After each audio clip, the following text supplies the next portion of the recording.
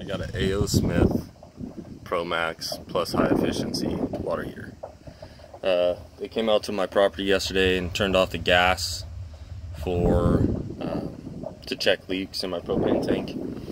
And sorry, it's windy. Um, they shut off the gas and they turned off my hot water heater. After they fixed the gas line, they said, "Oh, you can't get your pilot to relight." Uh, couldn't find anything with my specific model Thought I was gonna have to replace the unit. Called the service guy out. He walked out, looked at the tank, and said, "Oh, this is old. I don't have the parts for it. I can't fix it. Uh, it's gonna be $1,500 to replace your unit." So then I got the model number, model number, serial number, and everything, which is located right there. Took a picture of it. Started doing research. Started watching videos on YouTube on how to replace it, and even went and bought a kit today that replaces, it's a, pilot light kit, so it's going to replace all this stuff right here.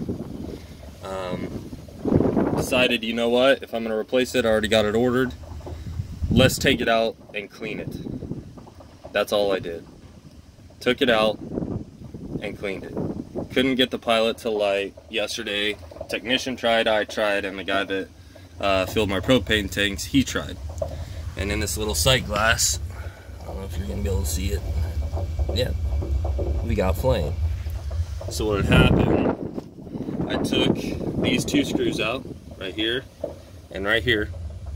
Ooh, those are hot. I disconnected these three lines, okay? Um, thermocouple, gas line, and then your uh, pilot light. And then I disconnected this, which is your ignition for your pilot.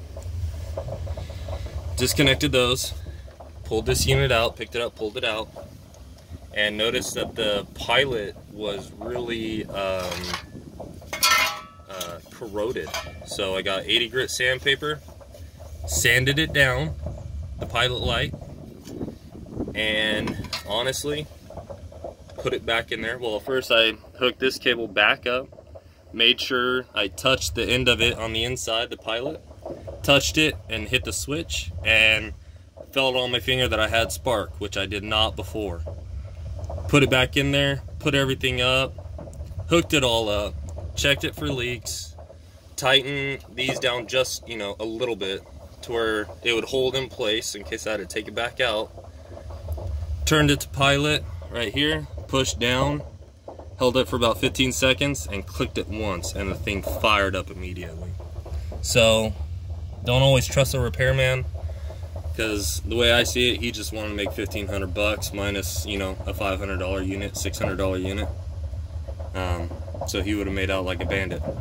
Clean your contacts. That's all I got to say. Just clean the contacts. It's an A.O. Smith uh, Pro Max Plus high efficiency. Pretty basic unit. So yeah, don't always trust a repairman. Get in there, and if you ordered the parts already, you might as well troubleshoot. Try to clean the contacts, and that's all I had to do. So now I can cancel the order on that shipment, or keep it just in case this one actually does go out in the future. Uh, yeah, it's a quick little video. I'm not going to take it back apart because it's running. So, thanks for watching.